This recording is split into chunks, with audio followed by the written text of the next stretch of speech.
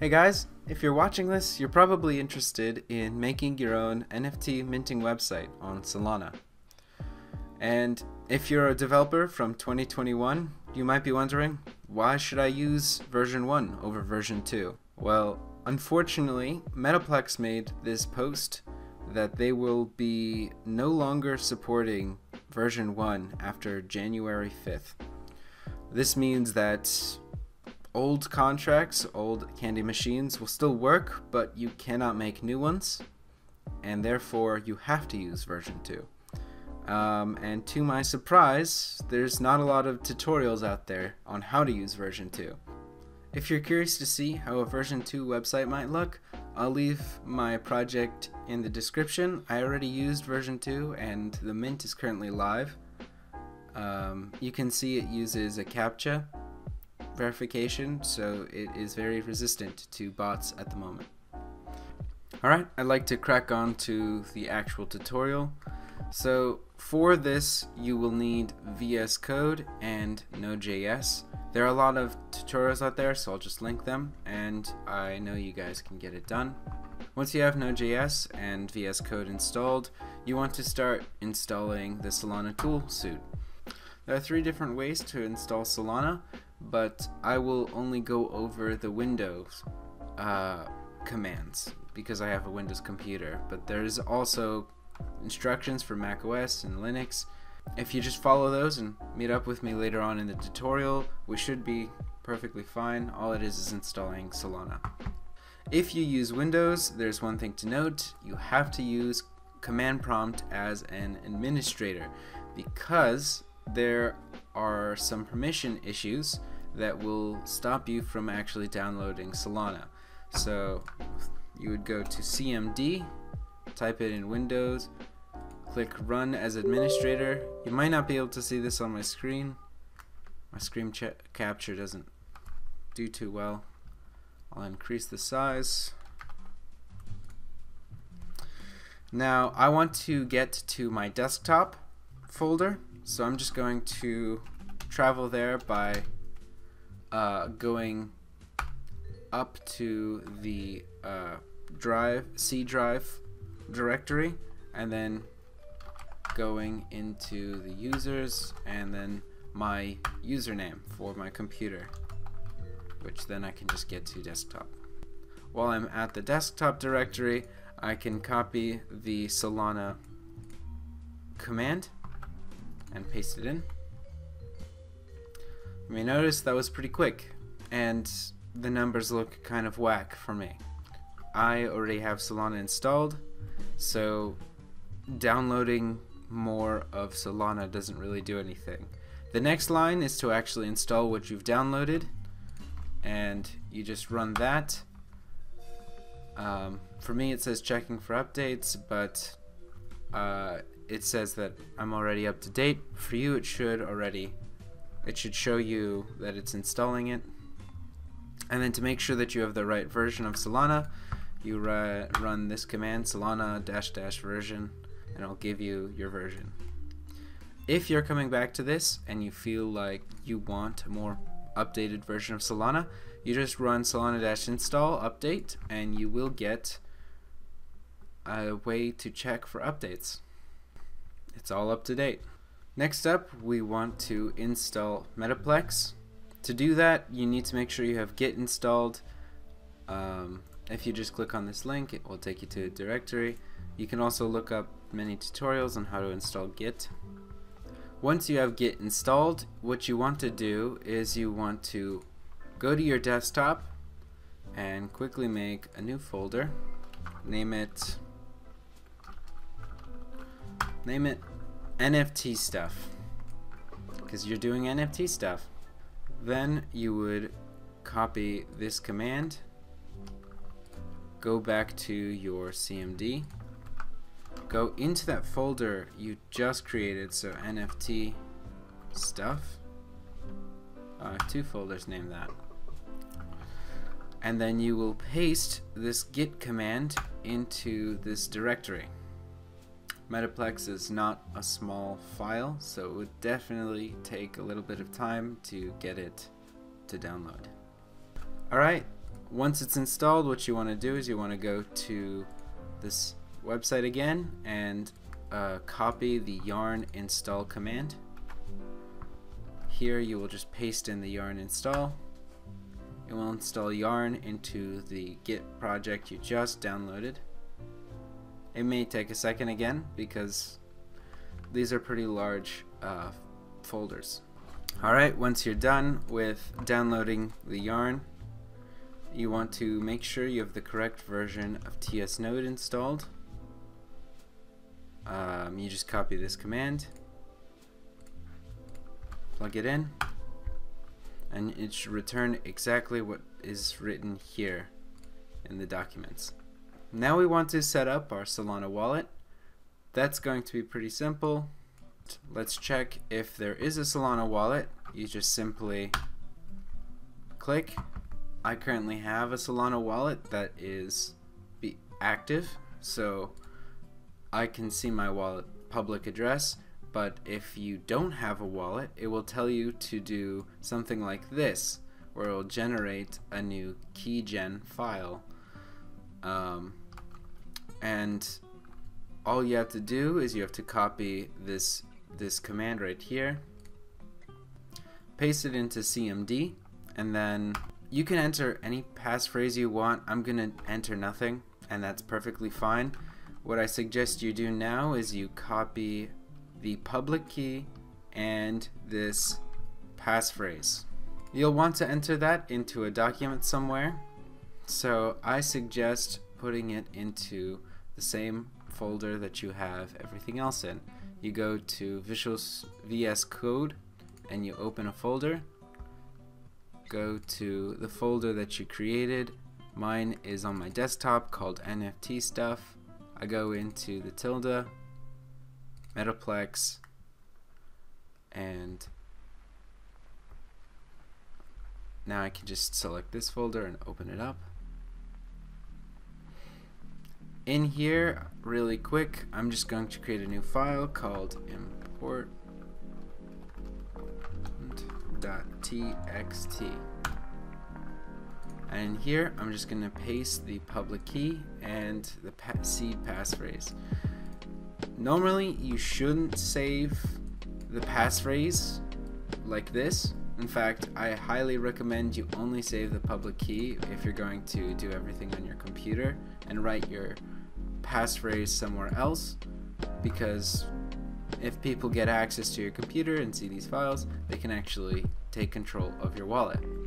That being said, we're ready to configure the Solana network with our wallet. We copy the next command. We paste it into here. And it should automatically configure our Solana network with the directory to the current wallet that we just created. Next, we want to set the Solana network to the DevNet network. This way, we can test things without actually paying for them. Just enter, and both times it should be something very simple, like these two blocks of information. If you want to just make sure that you've got the correct configuration, you type solana config get and it will spit out the exact configuration that you have on your computer. Now, if you type Solana balance, it should say zero. There's no Solana in your newly created wallet. To get more balance, all you have to do is airdrop yourself some, just like that. Congratulations, now you are the proud owner of two Solana on your computer. Um, and I'm just going to do it again. Why not? Next up, we want to configure Candy Machine. To do this, we have to go into the folder within our Visual Studio Code, go to JS, Packages, CLI, and here we're going to change two things. We're going to change one folder named example assets to just assets and we're going to rename example candy machine upload to uh, config to just config. That way, these are two very simple names. We don't need to worry about all the examples. Um, now, what assets is, is it's essentially two paired files, the PNG of your NFT and the information that will be paired with your NFT, the JSON files. Um, the config file will hold different settings for your candy machine. For instance, the price, you can set it to whatever you want. I'm going to set it to 0.2 SOL for now. The number of NFTs, if you saw in the example uh, asset folder, there are a pair of 0 through 9, which means there's 10 assets or 10 pairs. Gatekeeper is a new feature that was added to Solana. It helps keep your mint secure. I highly recommend it if you don't want to be botted and you want to make sure that regardless of your mint, no one can just whale in completely. Next up, we just want to enter in the public key that we were given for the Sol Treasury account. Oh, and make sure that you put quotation marks. This essentially makes it so that when your candy machine goes live, this uh, account will be given all of the Solana that will be minted. Next up, we want to select a date to where this project will go live. Um, say we wanted to do it on January 6th. We can do 06 January 2021 and then we enter the time. I'm just gonna do something random 08 30 00 EST. You may notice EST, that's not universal time, but you can decide to use universal, it's up to you. You can use any time zone you want. I'm just using EST as an example, and this time goes up to 23. So make sure that if you want to do AM or PM, you do the conversion by adding to 12 military time. This is all I'm going to change in the Candy Machine file. If you wish to add extra settings or make different changes, I highly recommend you read this table that Metaplex has given us. It goes over in detail what the different settings are and what they do. They even go into detail over some of the settings and different variations you can use. Next up, we just want to add the new assets to our folder. I found that I kept having issues with the assets that were given by default by Metaplex, so I just replaced them with my own that I know that work. Alright, so I decided I wanted to try to use the first 10 images of my actual collection. What I can do is I can go to the folder with the assets and I can copy and paste them in. Now I have my assets in the correct folder. At this point, if you've double checked your metadata and your PNGs and you know that your settings in your config file are correct, you are ready to upload your candy machine. All you need to do is copy this command I really recommend going to your important file and writing down some of these commands. So once you have it copied from the website, there are a few things you want to change. I'll show you what they are right now. Since our asset folder is right here, we want to copy the path and paste it. Get rid of everything up to the tilde. Our config file is right here. So we want to copy that path and paste it over this config and get rid of everything up till the tilde. make sure everything is on one line. And now you should be good after changing the assets and the config to the correct file directories. You just paste into your CMD and I know that these JSON files work so I should be able to run this command.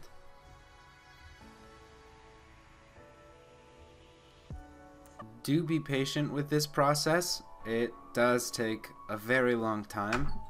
For instance, a collection of 5,555 per se, just random number, will take you around six to six and a half hours just to upload onto Candy Machine. If you start seeing errors and your NFTs are not being uploaded properly, do not panic. One thing you should try to check is go out of your Metaplex folder back into the super folder and go into your cache. This cache file will have all of the uh, NFT correct data. Do not open this file while this is running, but it, you should see the size increase while this is running. Alright, so my Candy Machine has successfully uploaded these 10 NFTs to the dev network. Now say I'm not happy. I want to change the price. I think my NFTs are worth more than 0.2. All I have to do is increase the price right here, save the file, and the only thing I'm going to change will be the upload in the very beginning of the command right here. Change that to update underscore candy underscore machine. Alright, now it's updated. And you can do the same thing with the live date. You can do the same thing if even if these are null you can change any of the candy machine settings just like that and then update it using this one command and I'll put both commands in the description so let me copy and paste and there is one more command that you need and all you have to do is delete the assets directory and type verify if you ever feel anxious about your project not properly working you can verify it using this command. It seems to be working and it shows me that it's ready to deploy.